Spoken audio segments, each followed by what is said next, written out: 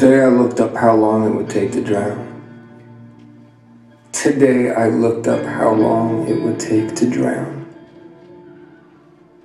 How long can you hold your breath before you can't hold your breath any longer? And how long until your lungs give out and the sound that used to fill the void quiets like a mouse at midnight, searching for its piece of the pie?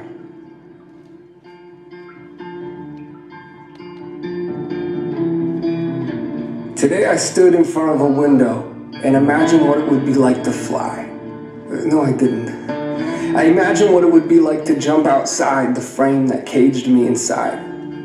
But my better judgment said it wouldn't be very kind if someone you cared about found you.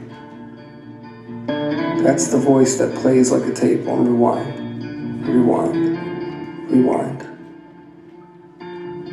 It wouldn't be fair to a stranger either. Today I'm reminded of the time I watched a man jump into a highway when I was just 17. The car lights on either side of the upper portion of the auto route below standing at attention, staring off into the distance, just waiting for the road to clear and the way to the comfort of their loved ones to be made. Death is a strange and hollow inconvenience when you think about it.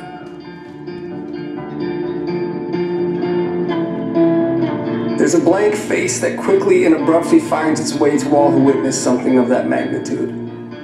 It's not empathy, it's not sympathy, it's more of a forced, intrinsic, and integral self reflection. Why would someone do such a thing? What could drive someone to that type of depth? Could I be driven to such depths? Would I ever be able to jump? There is no place to be soft in these moments, jump. There's no time to be caught in this moment, jump. There's no need to believe there ever was a moment, jump. Sigh, believe, relief in this moment. Cause I could never be the one to be in this moment. Or could I? Jump.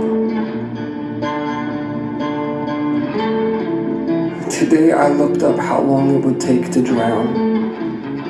Do you first hold your breath?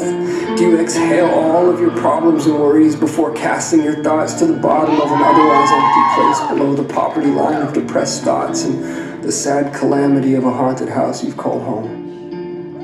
I don't know. Maybe someone out there has an answer. But for now, I'm still trying to come to terms with the fact that today I looked up how long it would take to drown. Ladies and gentlemen,